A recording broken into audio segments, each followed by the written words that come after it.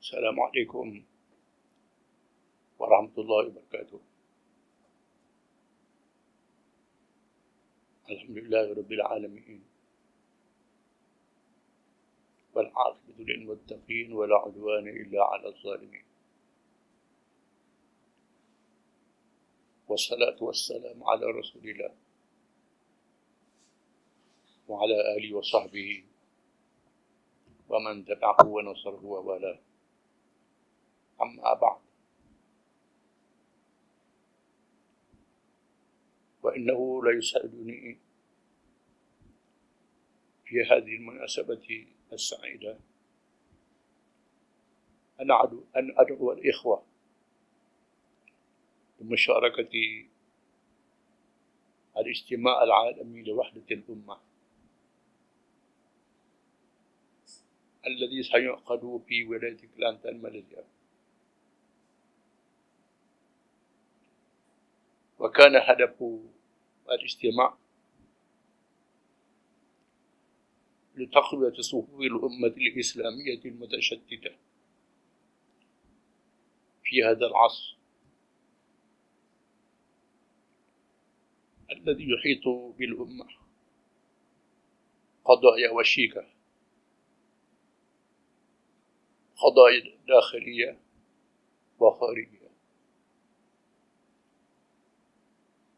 وأما الداخلية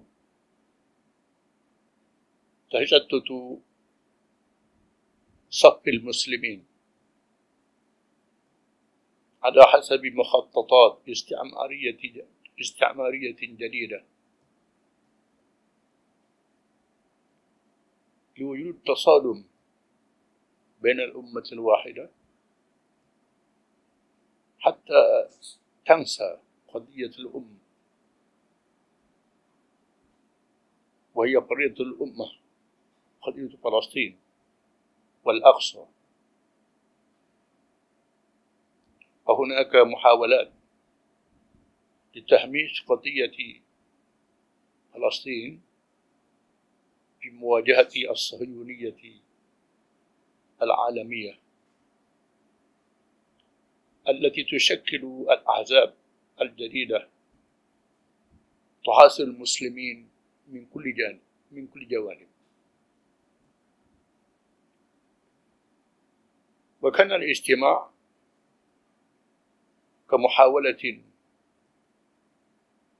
لدعوة قادة العلماء والعاملين بالحقل الإسلامي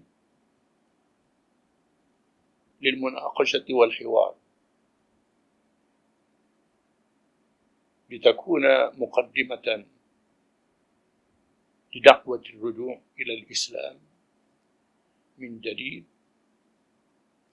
الذي هو مصدر وحدة الأمة قبل قرون لا سيما في القرون الذهبية عندما كان المسلمون قادة للعالم. رغم صغر هذا الاجتماع من حيث شكله. ولكن نرجو البركات من عند الله سبحانه وتعالى. ستكون مقدمة أولى للمستقبل إن شاء الله. وأخيرا أدعو الإخوة حول العالم ليكونوا معنا في هذا الاجتماع.